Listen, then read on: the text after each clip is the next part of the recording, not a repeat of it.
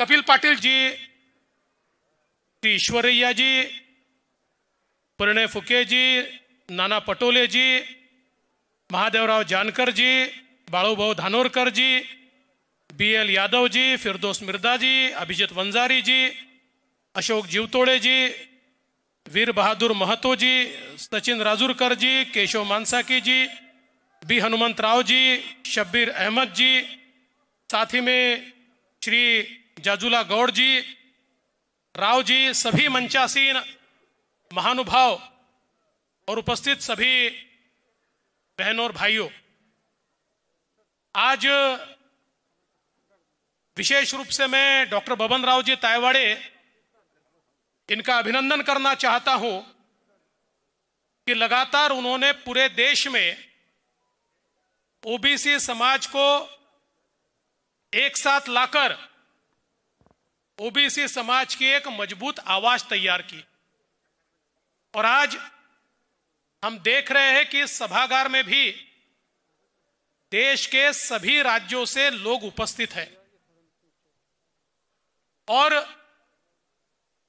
जिन 22 मांगों को यहाँ पर रखा गया है, मैं आपको आश्वस्त करना चाहता हूँ कि जितनी मेरी क्षमता है, उस क्षमता के आधार पर आपकी मांगों को उचित सरकार तक पहुँचाने का प्रयास मैं निश्चित रूप से करूँगा, ये विश्वास आप रखें। पिछले समय महाराष्ट्र में मुख्यमंत्री के रूप में मुझे मौका मिला और उस समय स्वतंत्र ओबीसी मंत्रालय हमने तैयार किया। और मुझे यह कहते हुए खुशी है 2014 से लेकर 2022 तक महाराष्ट्र में ओबीसी के हित के कुल मिलाकर 22 निर्णय हुए, सरकार के 22 निर्णय, उनमें से 21 निर्णय मुख्यमंत्री के रूप में मैंने लिए, आप कोई भी वहाँ पर देख सकते और लगातार, चाहे वो शिक्षा का विषय हो, चाहे नौकरियों का विषय हो, चाहे हमारे बच्चों के लिए छात्रावास का विषय हो, चाहे हमारे बच्चों को फॉरेन स्कॉलरशिप देने का विषय हो चाहे आईएएस आईपीएस का ट्रेनिंग देने का विषय हो, जो जो मांगे बबन राव जी आपने अपने अधिवेशन में की, वो सारी मांगों को सरकार के माध्यम से मंजूर करके हमने उस समय उसके शासन निर्णय निकाले। और मैं आपको फिर एक बार आश्वस्त करना चाहता हूँ कि आदरणीय हमारे मुख्यमंत्री शिंदे जी के नेतृत्व में जो हमारी सरकार आई है यह सरकार निश्चित रूप से ओबीसी के हितों की रक्षा करेगी। और ओबीसी के लिए जो निर्णय आपने अपेक्षित किए हैं, वो निर्णय हम लेंगे।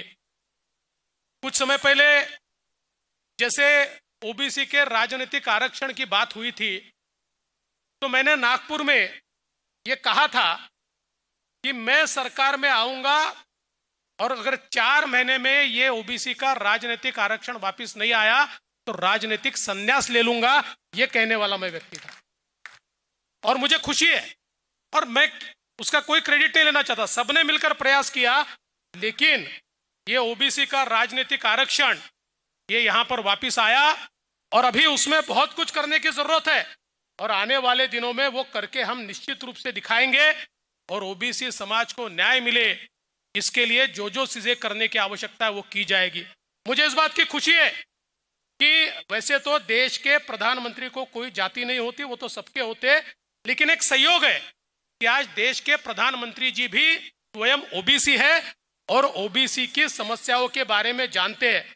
और जैसा कपिल पाटिल जी ने कहा, पहली बार देश में 40 प्रतिशत मंत्री, ये ओबीसी समाज से आज केंद्र के मंत्रिमंडल में है और निश्चित रूप से मेरा विश्वास है, जैसे ओबीसी के बारे में जो संवैधानिक दर्जा ओबीसी आयोग को देने की बात थी, इसको मोदी जी ने पूरा किया।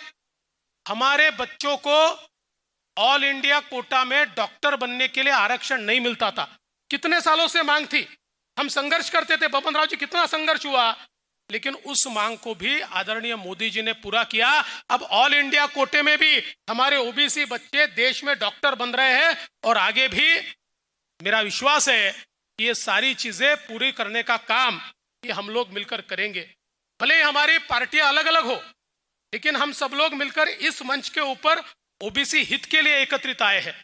और मेरा विश्वास है कि ये जो सारी चीज़ें आपने रखी है, हमारे मुख्यमंत्री जी भी आने वाले हैं, उनसे भी मेरी बातचीत हुई है। अब कुछ कुछ मुख्यमंत्री जी का प्रेरोगेटिव होता है तो कुछ चीज़ें वो भी कहेंगे। और मैं आपको विश्वास दिलाता हूँ, चाहे महाराष्ट्र हो, चाहे देश हो ओबीसी के हित में, आपके नेतृत्व में जो काम चल रहा है, इस मंच के नेतृत्व में जो काम चल रहा है इस मंच के कार्यकर्ता के रूप में हम लोग यहाँ पर काम करेंगे और आपके इन सारी बातों को आगे ले जाने का काम हमारी सरकार के माध्यम से होगा। वैसे भी भवन राव जी, इतने सालों से क्योंकि आप नागपुर से आप जानते हैं, मैं स्वयं इतने सालों से नागपुर से लगातार जीतता आया हूँ और आज राजनीति में तीस साल मुझे हुए हैं और इन तीस सालों में मैं इसीलिए बार बार विजयी हो पाया क्योंकि जहाँ से मैं चुनकर आता हूँ, वहाँ तो सारे ओबीसी है। ओबीसी लोगों ने ही देवेंद्र फडणवीस को बनाया है, देवेंद्र फडणवीस को वोट दिया है, देवेंद्र फडणवीस को चुनकर लाया है। तो ये तो मेरी ज़िम्मेदारी बनती है कि ओबीसी के सम्मान में जो भी चीज़ें हो, उसमें हम पुरजोर ताकत के साथ उतरे। मैं आज के इस मौके पर आपको इतने आश्वस्त करना चाहता हूँ, हम सब आपके साथ में जो निर्णय आप करेंगे, हमारी क्षमता के अनुसार हम उन निर्णयों के पीछे खड़े होकर उन निर्णयों को इम्प्लीमेंट करने के लिए पूरी कोशिश करेंगे। आपने इस राष्ट्रीय अधिवेशन में हमें निमंत्रित किया, इसलिए आपका आभार व्यक्त करता हूँ। आपने, मैंने आपसे निवेदन किया था कि मुझे जल्दी जाना है। आपने उसकी भी परमिशन मुझे दी, इसलिए आपका आभार व्यक्त करते हुए अपने शब्दों को विराम देता हूँ। जय ओबीसी! जय ओबीसी! जय ओबीसी!